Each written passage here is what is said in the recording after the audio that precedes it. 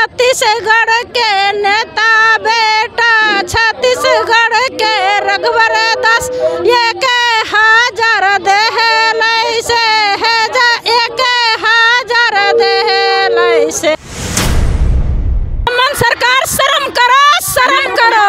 हम एक गुन्ना, भागा लघुत्तम महत्तम सब हो रहा।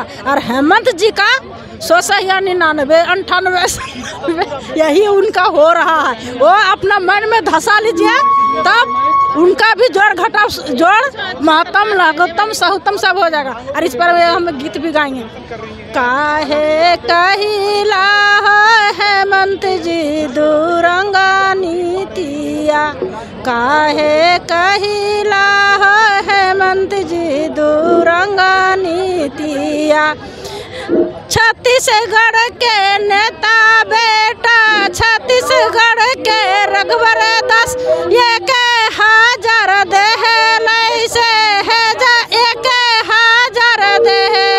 से काहे? कहिला हो हेमंत जी दुरंगा नीतिया तो है एक जबन कैले है।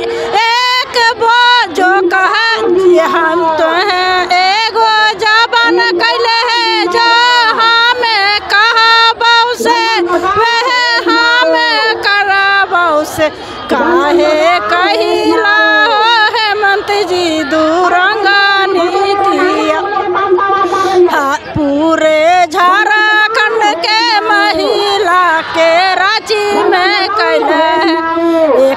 एक एक गाँव से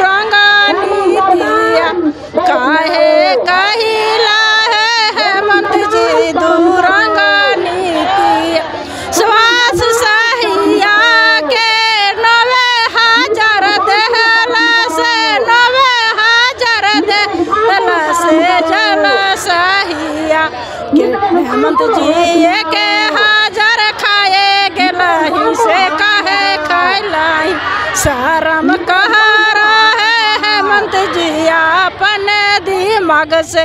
शरम हेमंत सरकार शर्म करो शर्म करो।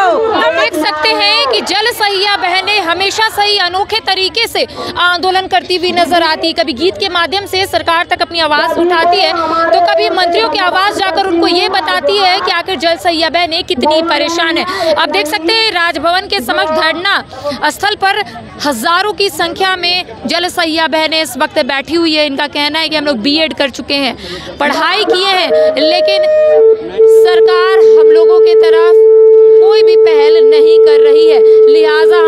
इसी तरीके से आवाज़ उठाने पर सरकार मजबूर कर रही है। स्पष्ट रूप से इनका कहना है कि रघुवर दास की सरकार में हम लोगों की जो भी मांग थी, वो पूरी हुई थी। लेकिन हेमंत सोरेन की सरकार ने हमारे लिए अब तक कोई भी पहल नहीं की है। फ़िलहाल मुझे दे इजाज़त, सहयोगी नितिन के साथ करिश्मा सिन्हा, न्यूज़ बाईस को, रांची। झूमेंगे घूमेंगे गाएँगे हम। वाइल्ड वाली वाटर पार्क जाएँगे हम। झूमेंगे घूमेंगे गाएँगे हम। वाइल्ड वाली वाटर पार्क जाएँगे हम। वाटर पार्क में फुल ऑन फन करेंगे। फैमिली संग वाइल्ड वादी चलेंगे। वाइल्ड वादी एंड अम्यूजमेंट वाटर पार्क एक नए अवतार में। तो तैयार हो जाइए वाइल्ड वादी में अनलिमिटेड मस्ती के लिए। यहाँ लॉकर और कॉस्ट्यूम का कोई चार्ज नहीं। साथ ही तैतीस फीट की हाइट से मल्टी लेन और बर्ड पार्क का भी ले फुल मज़ा। वाइल्ड वादी अम्यूजमेंट वाटर पार्क हजाम रांची। एक वादा हुआ ना पूरा। एक वादा हुआ ना पूरा। उन वादा आधा अधूरा। एक आ, एक वादा आधा अधूरा। एक वादा हुआ ना पूरा। हर जानिब हाहाकार। ना रे बाबा ना बाबा फिर आए तेरी सरकार। ना रे बाबा ना बाबा तू देगा भूखा मार। ना रे बाबा ना बाबा हर जानिब हाहाकार। ना रे बाबा ना बाबा। मतलब अब उम्मीद नहीं रही सरकार से नहीं इस गीत है। है लेकिन सरकार इनको नहीं बनाएँगे। वापस इनको सरकार में नहीं लाएँगे। इनको धरातल पे उतारेंगे सरकार इसलिए हमने जो ग्रामीण क्षेत्र में महिलाएँ जा जाकर घर घर बताने का काम मैं करती हूँ या हर एक दीदी लोग बताने का काम करती हैं क्या डीएसपी की बीबी जाकर बताएँगी? क्या दरोगा की बीबी जाकर बताएँगी? उनको कैसे इस्तेमाल पैड करना है? उनको कैसे साफ़ सफ़ाई रखना है? उनको सोच कैसे इस्तेमाल करना है? कैसे साफ़ रखा रखना है सोच को? क्या ये जाके बताएँगी? आईपीएस की बीबी जाकर बताएँगी? पीएचडी वाले जाकर बताएँगे। नहीं, लेकिन हम ग्रामीण क्षेत्र की महिलाएँ जो हैं, अपनी ईमानदारी से काम को निभाते हैं और करते आए हैं और करते रहेंगे और कर भी रहे हैं। लेकिन सरकार को दिखाई नहीं दे रही है। आँख में तो पट्टी बंधी हुई है। लेकिन हम गरीब महिलाएँ मत समझें कि हम मजबूर महिलाएँ हैं। गरीब हैं, नहीं। हम गरीब और मजबूर नहीं हैं। जिस दिन अपने आप में आ जाएँगे, फिर सरकार को तो फिर सोचना पड़ेगा कि हम क्या करेंगे।